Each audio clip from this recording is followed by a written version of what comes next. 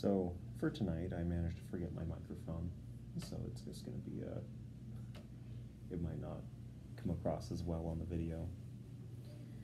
But tonight, the thing God gave me to talk about was medicine, which was kind of an oddball thing. It seems very, very vague. And especially when praying about it more, and he wanted me to talk about a more general concept of it. Which is fine.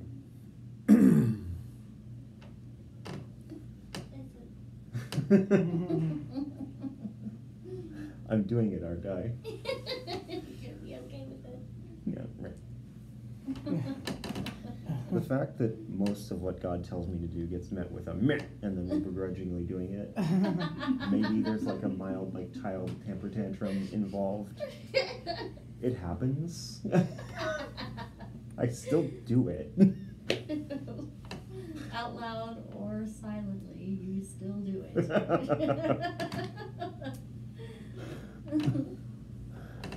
but anyway, um, so when he was talking to me about this subject, basically, we're not going to be talking about medicine itself in the sense of like the, you know, the stuff that your doctor provides for you, but rather to look at this a little bit more deeply and a little bit more expansively in terms of the things that we need for healing. Hmm. Because for God, you know, he the one of the big things with this is to talk like talking about medicine explicitly is to address the fact of like you know christianity has kind of a weird relationship with medicine and i mean like you've had there have been stories over the years of people in church specific churches who believe in purely faith-based healing. And we get and the thing about it is is that they they believe that it's a sin to use medicine. So they're like getting really sick and they're refusing to mm-hmm. take anything for it.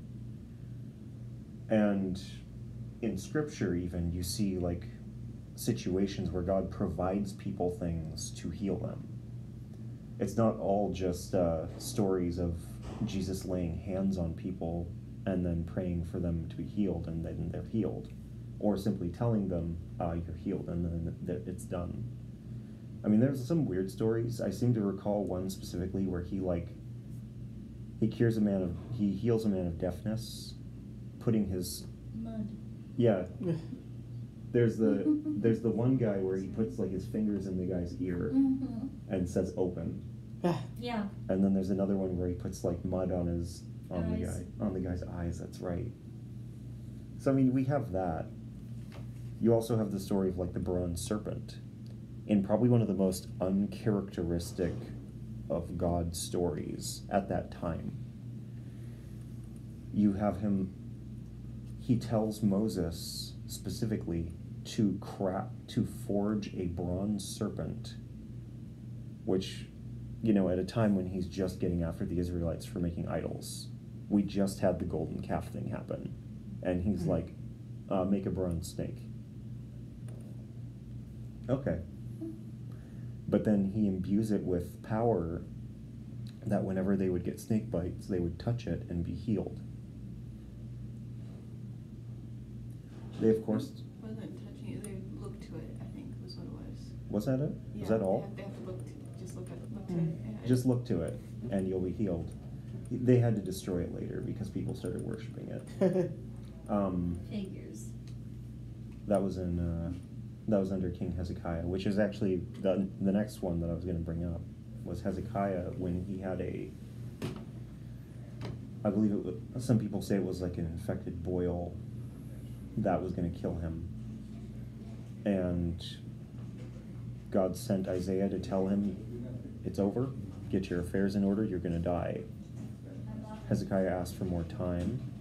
Isaiah was turned around in the middle of the courtyard walking away by God to go tell him, okay, you get more time. And they used the juice of the expressed juice of a fig to heal the the thing that was going to kill him. So it's not like we we have no stories of God using things like this to see his will done. even if they're obscure, I'm not sure what the the only chemicals that I can think of inside of a fig that have any beneficial properties are it's high in vitamins, as I recall, but I don't know if that kills an infection.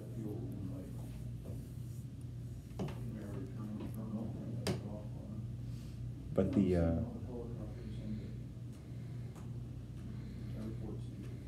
but the thing that we run into with it is uh, there's a lot of stigma there still. So we have a lot of people who are just kind of like, um, we need to like rely on God to be our healer, absolutely entirely all the time. And the funny thing about it is that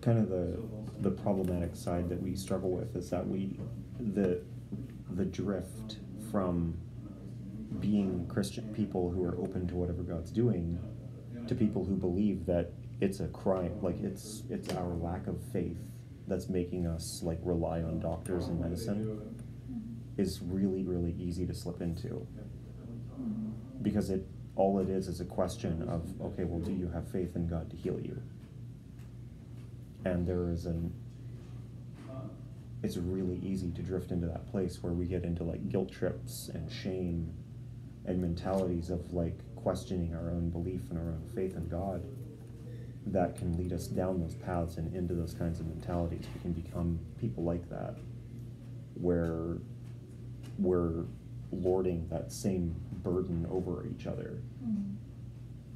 And I've seen it happen before. I've had a number of friends and family members and so on over the years where they they get in trouble with something, they get scared or they get sick and they're just like, "But I need am I am I wrong for wanting to go to the doctor? Like is it a, a lack of faith on my part that I'm not trusting God to heal me?" And it's just like you have you might have a a bladder stone or you know you might have like an infection in in one of your systems here you should just go to the doctor it's okay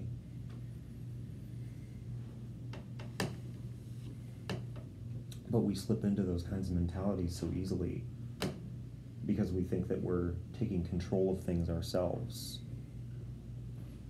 and it's just like well maybe that's not unless god explicitly tells you that this is bad, it's probably not a bad thing to do to take care of yourself. Mm-hmm. In fact, more often than not, we are given the directions to take care of ourselves. We're, we're led through Scripture to take care of our bodies. We all know the verse, your body is a temple. Well, in those in those processes, we're meant to take care of these things. We I think we forget sometimes that a portion of our existence is meant to steward what God created. Mm, yeah. The whole purpose behind behind well, not the whole purpose, but a portion of why we were created and what God aimed to do with us in the garden was to have us help was to have us steward what he created to help him work his garden. And our bodies our our worlds around us everything that that we touch there's an aspect of that which is us being able and willing to care for those things. And a lot of us understand that. Like it's common knowledge in the church that oh yes i it is my job to help like bring god's name to the world it's my job to help people who are in need it's my job to do these things but we oftentimes look so for far outward that we don't think. It's also my job to take care of myself. Mm-hmm. Like we have so many different parts where it talks about rest and the value of rest.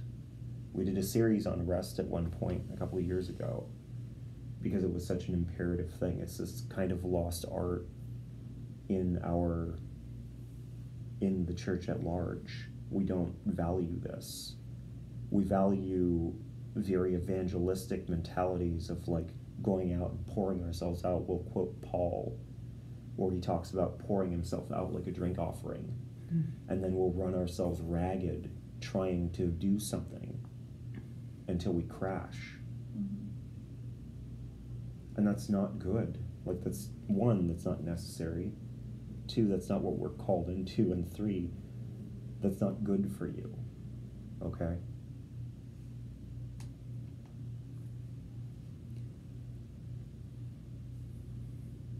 Even Jesus took his time away from the disciples, took his time away from healing people.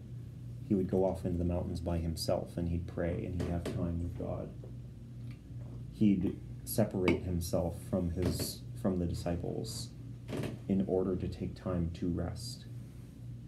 Because Jesus, though being um, God in flesh, he was still flesh. And flesh needs rest.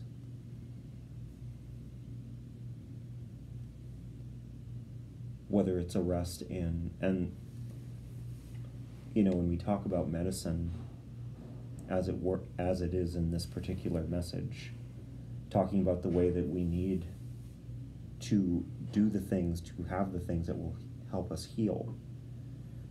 You know, it's not just like the compounds or, you know, if you're into naturopathic medicine, the the infusions or, you know, the ground up roots and different things like that that you would take in pill form to help your body heal or get better from things that are making you sick. There's also things that we need to do for our minds and our spirits Mhm. because those are other parts of us that get worn down. It happens. And those are parts that we need to take care of too. Your emotions are important, your mind is important. Those two things are very much so intertwined. If you're if you're depressed and the major like emotional thing that you're feeling all the time is sadness that will wear you down. It will have an effect on you physically it will have an effect on you spiritually. How easy it is is it to have faith in god when depression is telling you that there is no hope? And yet everything about god is having hope. And will you feel you know ready to tackle the world when you're feeling that way. Or will you instead feel heavy and weighed down?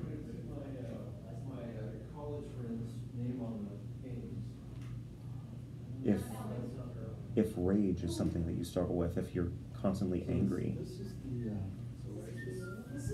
or you have something some kind of chip on your shoulder where you're trying to prove things and emotionally you feel that anger all the time you know are you going to be able to like in your spirit feel patience for people as they come out about and like harass you and so on or just make life difficult?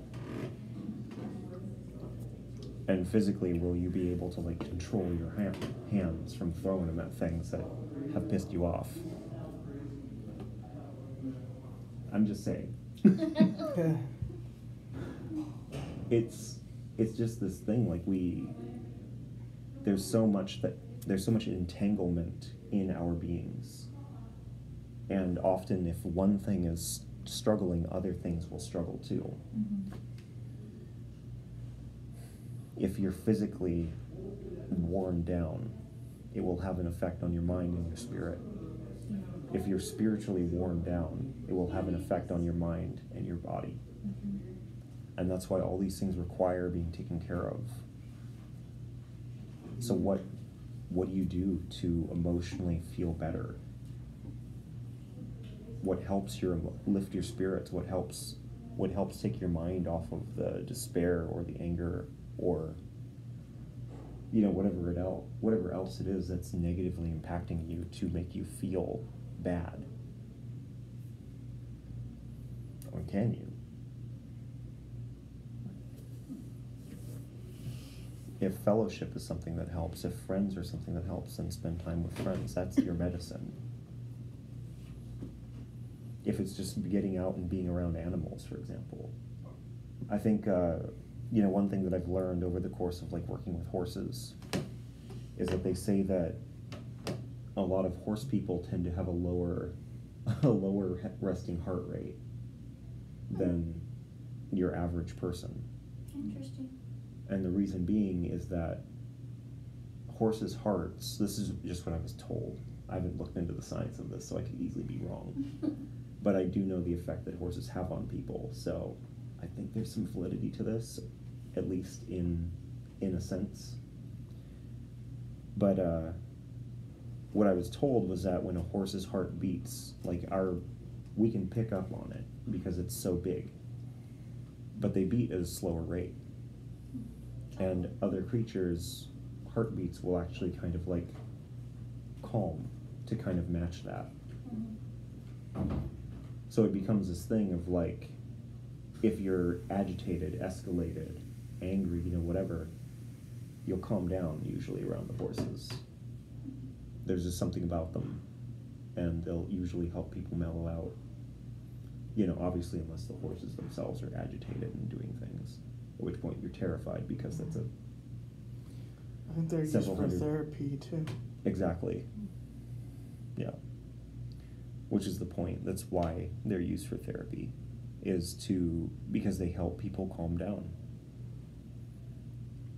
They have that effect, and animals in general can have that effect. Dogs will have that effect. I mean, we've all had that those days when we've been like we've had a rough day, and then the dog comes up and like nuzzles you and like wants to be petted, and man, it makes your day better, doesn't it? You're like, no one understands you but the dog. the dog knows. Yeah. Look, I'm just saying, I've had a lot of bad days, and having that weird little Pomeranian walk up and like want to cuddle really does help.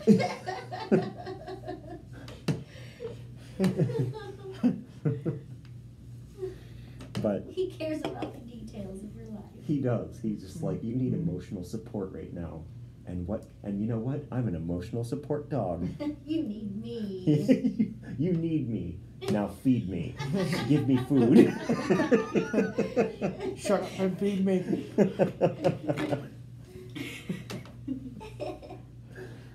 You know, it's it's important though because these things are our medicines. You know, like yeah, you can be put on something to balance out your emotions and that messes with your brain chemistry. But it's not always necessary to do something like that. And really that it's not like it's bad or anything. It's just that sometimes there are other ways, other avenues. But whatever the case is, you should pursue those other avenues. you know, we all have had. We all know stories about the kind of flaws in healthcare and pharmaceutical companies specifically, so we, we understand that. Okay. But in the end, the purpose behind, you know, this discussion is to just say this is good, like taking care of yourself is good. And finding whatever works as medicine to make you feel better is good, largely. I mean, obviously, if you feel a sudden sense of relief of your anger issues by burning somebody's house down, that's bad. That is, it might be medicine for your soul, but it's not. I'm pretty sure God's not going to sign off on that one. You are so close-minded. I am a closed-minded man. I was raised. I was. Ecstasy makes me feel great. Yeah.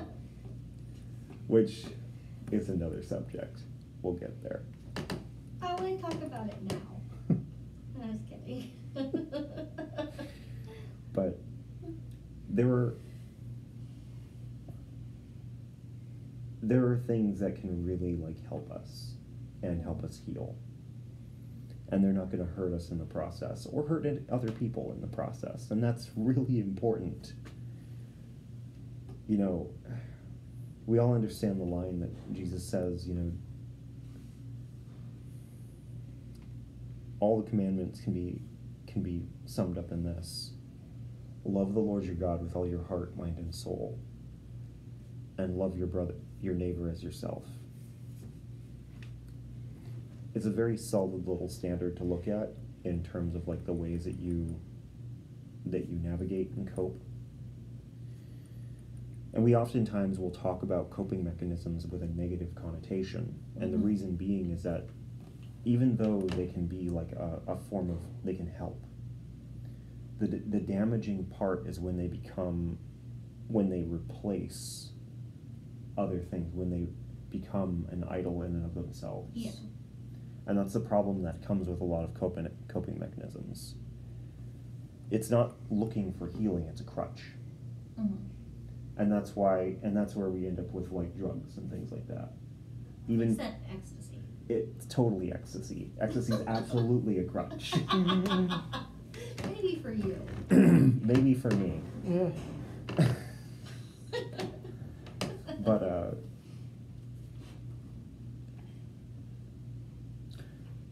in the end these things even though in the end these things can can replace and even drive us away from God in a lot of ways. And that's the the damaging side of it. You know, do you feel good for a little while? Sure. Sure. Does it take your mind off of that pain for a minute? Sure. But does it actually help heal it? Well, no, of course not. A lot of coping mechanisms are distractions away from whatever's going on. And even though that's important and necessary sometimes, because let's say that you're struggling with like a particularly hard emotional thing and you need a break from it, but you can't find something to like help heal, help healing with that wound. Well, yeah, obviously you need something to cope, so you need like a distraction. You pop on a movie or a TV show, or, you know, like something to that effect. And that's Tell your. a di- funny story. Tell a funny or story. Sit, sit down and tell lots of funny stories. Tickle someone. I don't know. Like, I, I feel like that ends with like physical pain, It usually. makes some people cry. It makes some people cry, it makes some people Especially when you hit, don't stop. punch you in the face.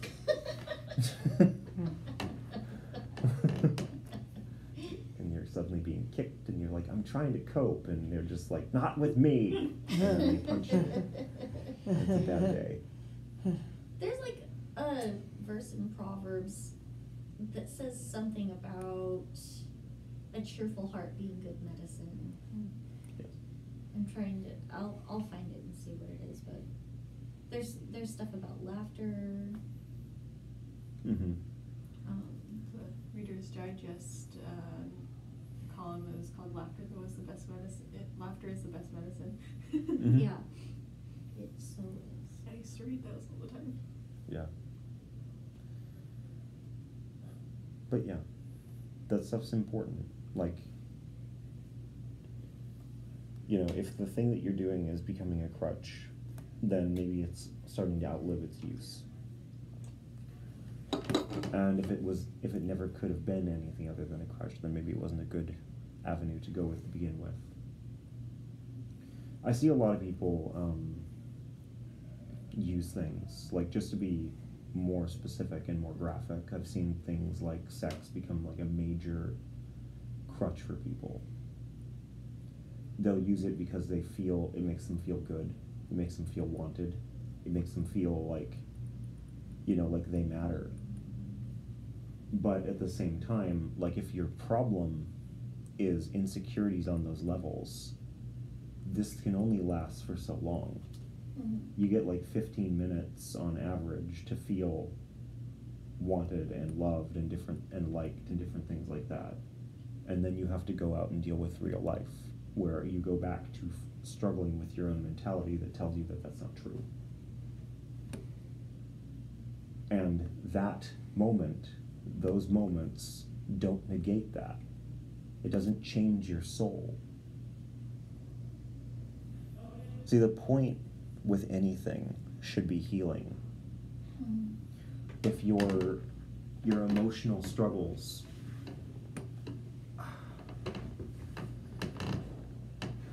are causing you pain then you shouldn't be looking for things to make the pain to dull the pain or to stop the pain for a moment. You should be looking for things that will cure the pain. If you're spiritually worn down you shouldn't be looking for things that distract you away from it. You should be looking for things that bring healing to those places, that bring revitalization or revitalization, rejuvenation. No. What? Stop it. Stop it. We're not going. To, we did that last week. We're not going there again. Uh, I might wanna bring it up again. uh,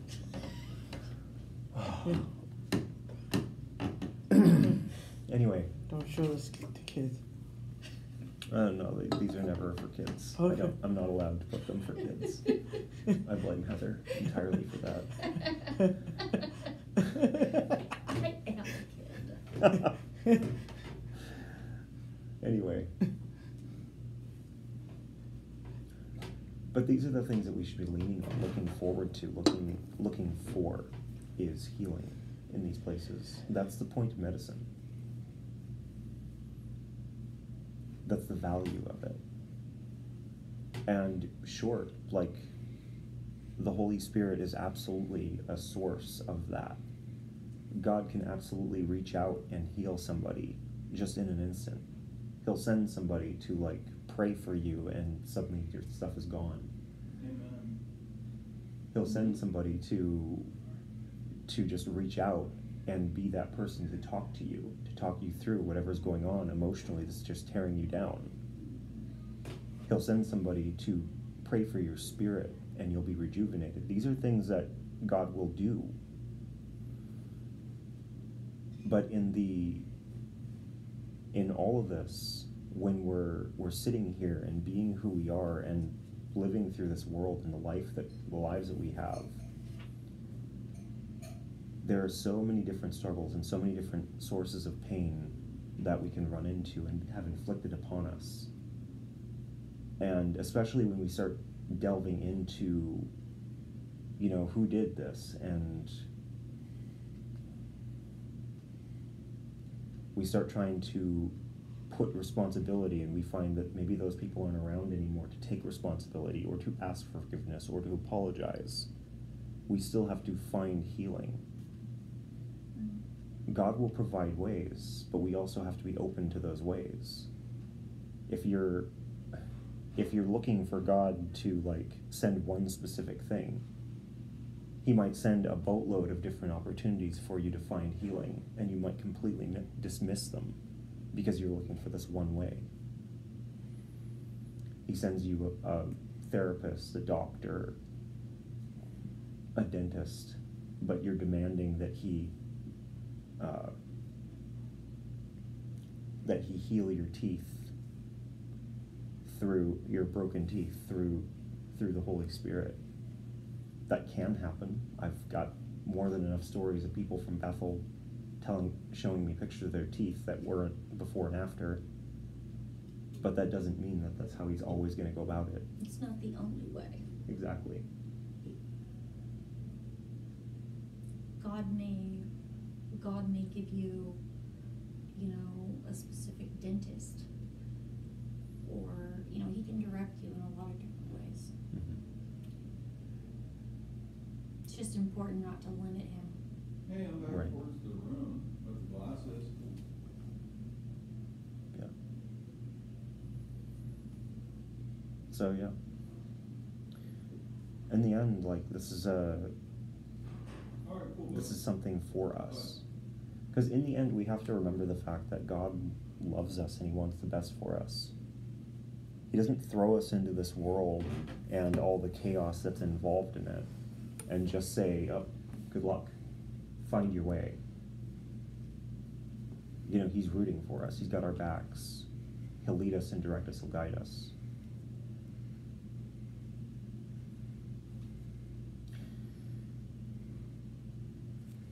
And when we're faced with the things that this world will throw at us, He'll help us. You know, I've heard stories, everything from uh, God providing the right doctor for somebody at the right time. I remember my little sister uh, calling me about her uncle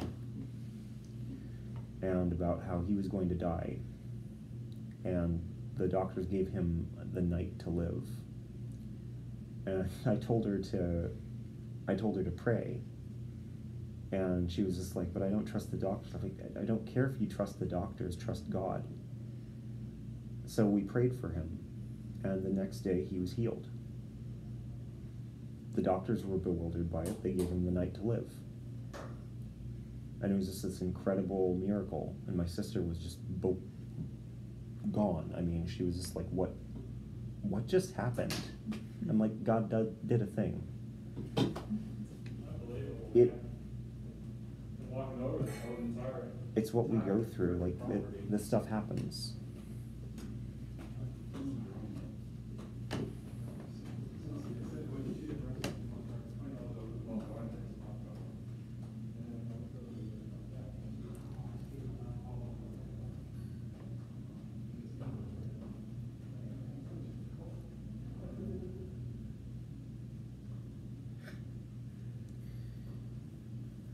On the other hand, more often than not, we don't get stories like that. We get stories about being provided the right doctor, the one who will actually finally listen and try to take care of you, Yeah.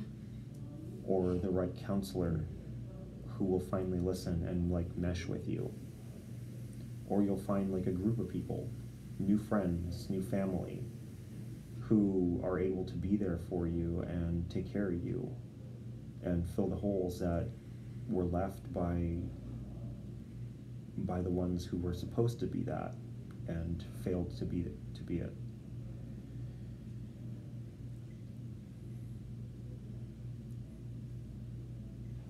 We talked a few weeks back about how you know the world is kind of our own creation. God gave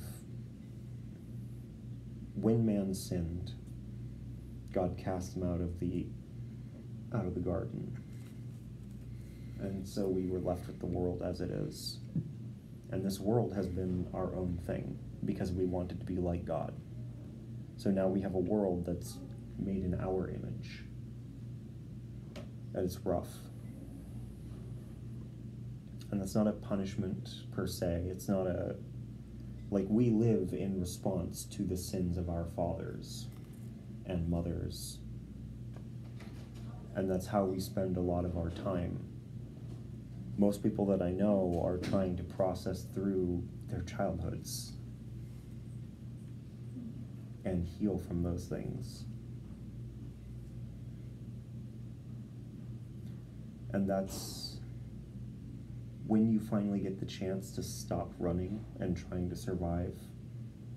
And now suddenly you're at a place of calm where you can process, where you can find healing. It's hard. And it's it's difficult to look back. It's difficult to to face all of that.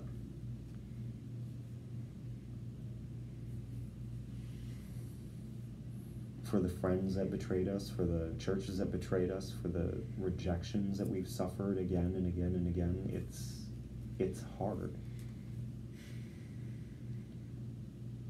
And the thing of it is is that like in this realm talking about healing, talking about the medicines that we need. You know, whatever it is that's going to whatever good things you can find that will bless your soul, that will bless your heart, and that will bless your body. These are things to hold on to and to gain nourishment from, to gain, to be rejuvenated by. Because these are things that God provides for us. He'll direct you there if you ask. He'll help you find those people if you ask. He might just find help you find those people anyways, without you asking. Because he's like that. half the time it becomes a, a thing of like, well, they don't really know me yet, but I'm going to send them to this church or this group or to this family or this particular group of friends or give them this dog.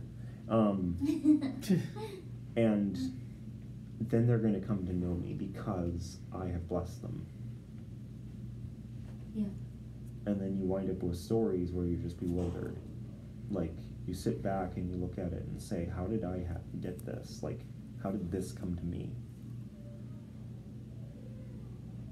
Well, God provided you something that was going to help heal you. of the many, many wounds that you carry. You didn't know, there's no pill for your spirit. There's no root or herb you can take that will that will make your spirit feel better.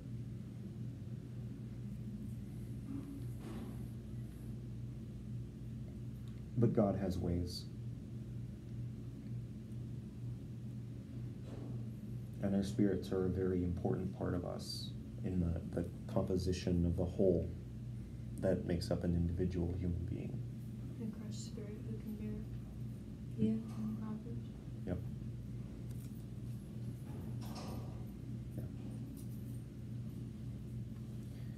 And you know, it becomes a very difficult thing. We, it's hard to define uh, because a lot of us come from very physical mentalities. Oftentimes, we it's why like we have a tendency to dismiss emotional and spiritual stuff because you know if you get your if you break your leg obviously that inhibits you from walking and running. You can't run with a broken leg. But if you have crippling depression, well, you think you can still force yourself to be a light to people. So you'll you'll push and it'll wear you down. And what's more is then you run into things like last week we talked about imposter syndrome it's a great way to generate imposter syndrome for yourself Mm. is by not being true to how you really feel and trying to act like some other way Mhm. Suddenly you feel like a fraud because you're you're acting this way or you're trying to influence people this way. But you know that that's not really how you feel. You know that's not really what you believe because your feelings and beliefs are being encumbered by this by this damaging mentality that you can't shake. It's like a broken leg inside your mind. Yeah. And then in the spirit that's another thing that's a whole other thing too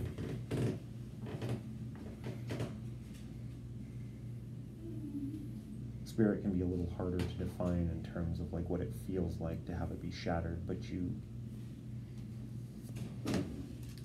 it's almost like feeling worn down like physically exhausted mentally exhausted but at the same time heartbroken Mhm. Without the physical pain that comes from heartbreak.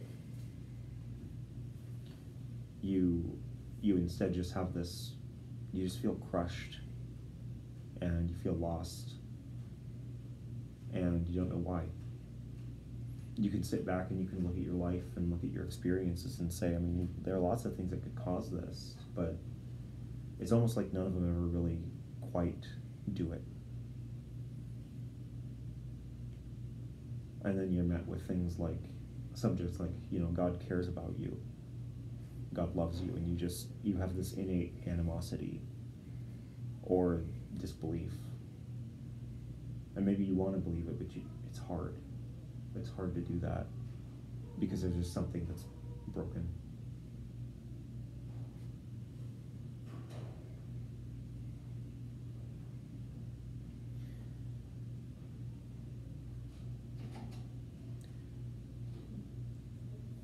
So the, these are the these are the effects that these things have. This is why we, we crave things that will help heal. And it's important for us to be able to acknowledge that we need healing in these places. That we need some form of medicine, some form of something that God can provide for us. Not something that we can abuse, something temporary that will bring healing in the time that we use it in the time that we have it. And some things are permanent. I mean, when you find like a new family to kind of involve yourself with, that can that's usually permanent. At least hopefully. Maybe a physical analogy would be like eating, drinking, breathing. Mhm. Absolutely. Things that are just supposed to be a part of your life, anyways. Yeah. Well, we're we're communal creatures. You you're gonna have people around you no matter what. Like you can be the most isolated misanthropic human being, and you'll still have some weird person who likes to hang out with you. I can tell you this from experience. I know, like for me, Patrick. you know. yeah, like whatever for whatever reason, there's always somebody who's just waiting in the wings, and you're just like, I thought it's Jeremy. no, No. no, no, I'm that person for Jeremy. Oh. Whereas, what was it my friend Chase was that person for me growing up. I had no friends except one person, this obscure guy who would just not leave me alone. And so often I'd just be like, I don't want him over. And then he'd be like, Hey, I'm spending the night. I'm just like, What? I already talked to your mom about it. Dang it. Okay, fine, fine. And then we'd have a good time, and I'd just be like, Dang it, I enjoyed that. Mr. Bear and a friend. Harley, Harley's that person for everybody. He is.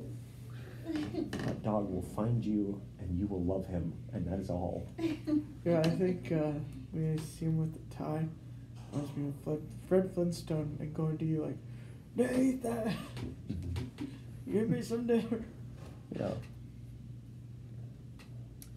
But yeah, it's these things are important for us. And yeah, if we're going to like quantify it, eating, drinking, sleeping, those are imperative for your physical body. God's imperative for your for your soul. The Holy Spirit's imperative for your soul. Faith and hope are imperative for your soul. Joy is imperative for your soul. Love is imperative for everything.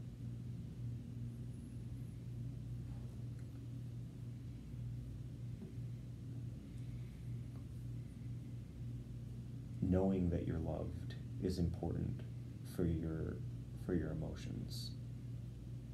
Knowing that you're accepted, knowing that you're not weird. I mean, we're all weird, but that's what makes it not weird, you know. There's no normality is a lie. We'll just say it that way. Mm-hmm. there is no normal, there is only weird, and that's all of us. Mm-hmm. I, I can't I can't tell you how many I still remember okay, just to mm-hmm. just to like validate Oh, that no. statement, okay? I oh, no. remember one of my cousins Oh, trying to talk to somebody about like she was trying to convert this guy who was a satanist and she was adamant that she was a normal person and she fought and did everything she could to look normal act normal match some form frame of normality and i remember i'll never forget the day she sat there on my couch calling this person talking to them and explaining how all she cared about was going to heaven. She didn't care and i these are her words. This is what she told this guy. She was like i just want to go to heaven. I don't care what happens to my body after i die. I don't care if a necrophiliac comes in and plays around with it when i'm dead. Oh all i care about is going to heaven. And i just remember looking at her and being and i just stared at her and she's like what i'm like you pretend to be normal but you are a weird person you can you can hide it all you want but your strangeness it's clear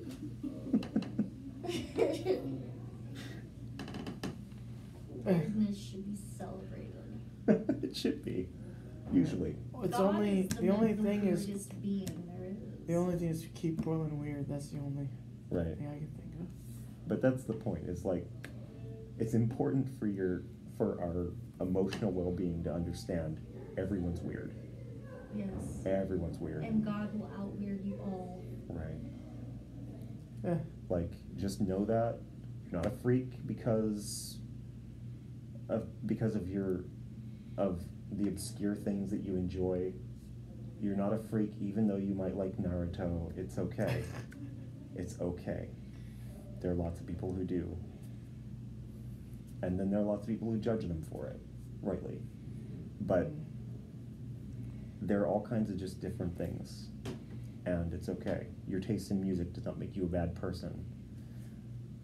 No matter how, even though there are all kinds of little jokes I could throw in here about Nickelback or whatever, I would sing Nickelback way too often to like justify that. Look at this photograph. Yeah. It's all okay. Like it's all acceptable. There's no there's no wrong answer here for a lot of these things, and that's important for us to know. And that's important for us to hold on to. Because emotionally, there's already enough to deal with in the world. There's already enough that we struggle with. The Bible is full of stories of people suffering emotional harm because of just the, the chaos of the states of things that were there and needing faith. Do you remember the story of the, the paralytic man who he was lowered down to Jesus Through the roof. through the roof? Mm-hmm. And Jesus didn't tell him, You're healed. He told him, Your sins are forgiven. And he got up and walked. He was able to get up and walk because what was going on with him had nothing to do with phys- his physicality. It had everything to do with his emotional, spiritual side of things. He felt so terrible that he couldn't get up. He felt physically unable to get up. and this is what's important for us to know is that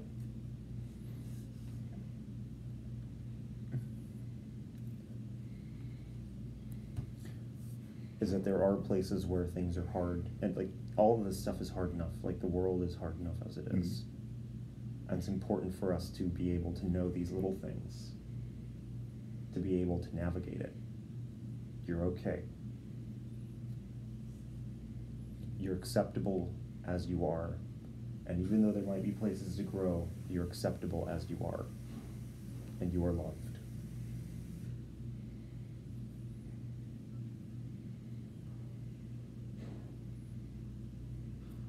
These are things that we can hold on to before we start needing things to medicate the problems there. A lot of uh, I've read before that like one of the greatest forms of medicine physically is diet. Your diet will affect so very very much of your physical be- well-being.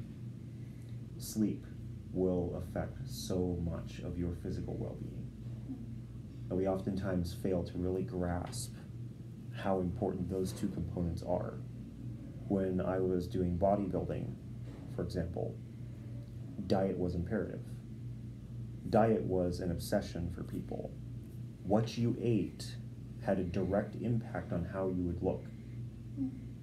It wasn't, you know, it's not like a thing where it's like a lot of us dismiss it. We don't think about it because it's not important. It's not valid. You know, pe- we got people surviving off of nachos on a regular basis, and they look fine. They're they're fine. But for in bodybuilding, you're not you're not surviving off of nachos. You're eating chicken and rice every every few hours a day because you're trying to maintain a physique, and it has a direct impact. If you if you break from that, you will notice a diminishment in your in your frame. It's right there. You can see it. It with that background, there's kind of an understanding of just how much diet affects be, our bodies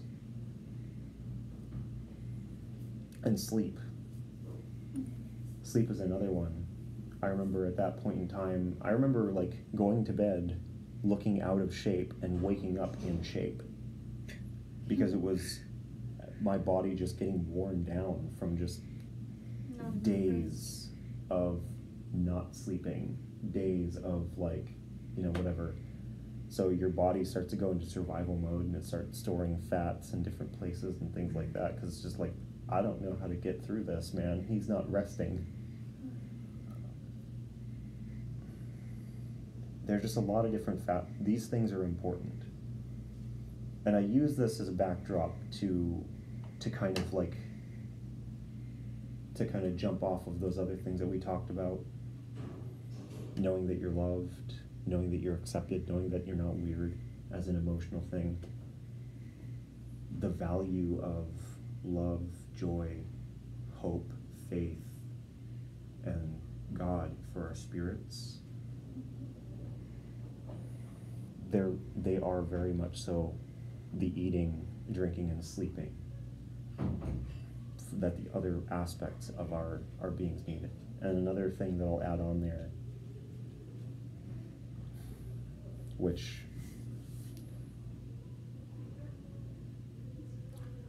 it's another really just important one for both of our both our spirits and our minds is community having other people. When you have people who kind of go off on their own and they isolate themselves they get weird. Like everybody's been kind of struggling with that post quarantine there are a lot of people out there who are just like they're having a hard time communicating with other people. They're having a hard time socially like socializing themselves again after they've been like so isolated and it's been kind of a, an existing problem in for a long time like with uh, people who spend a lot of time with the internet you find that they Or video games or, yeah video games internet any kind of like online interactions yeah. a lot of psychologists have been observing that like those people have a harder time in interpersonal relationships because they don't know how to interact. You'll see couples sometimes where they they're more comfortable on their talking to each other on their phones than they are talking to each other directly. Mhm. I've experienced that. I had a friend uh, who I tried to make my girlfriend and it didn't work. Yeah. Because she, she was on her phone. No, she was more comfortable on her phone. Like if we were talking over Messenger, we had extravagant conversations back and forth, joking around, stuff like that. In person, not so much. She got really uncomfortable and anxious and awkward. And it was kind of a it was an odd thing to experience. But it was there.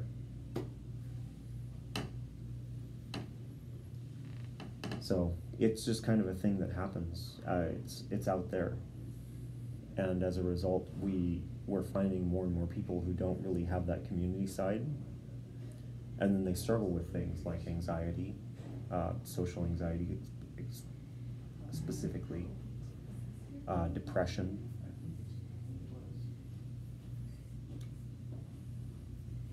As well as just uh, there's another one too, and I can't remember what it is. But it's just another one of those things that we need. Basic need is community, Mhm. other people, friendship.